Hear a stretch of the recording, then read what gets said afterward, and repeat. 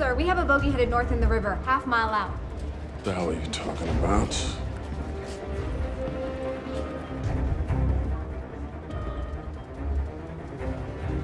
Is that a ship? It's underwater, sir. We don't have any subs in the area.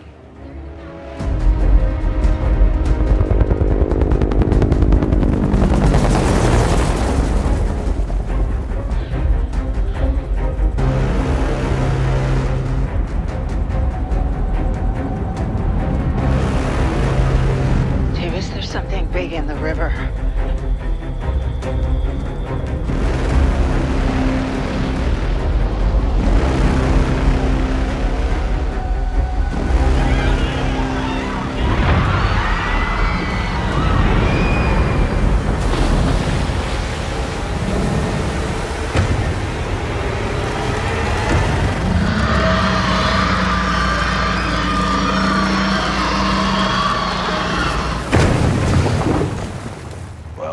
That sucks.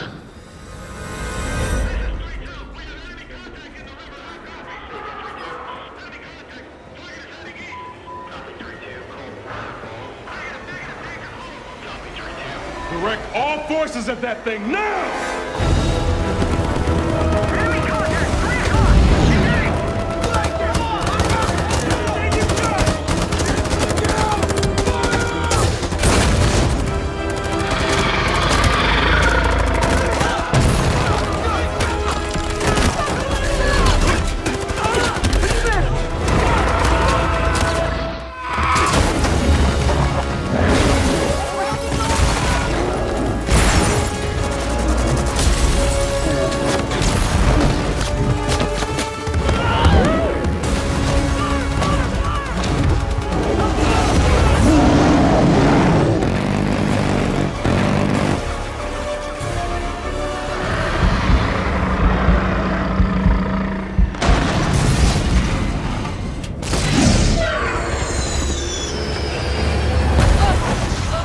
They can't stop them.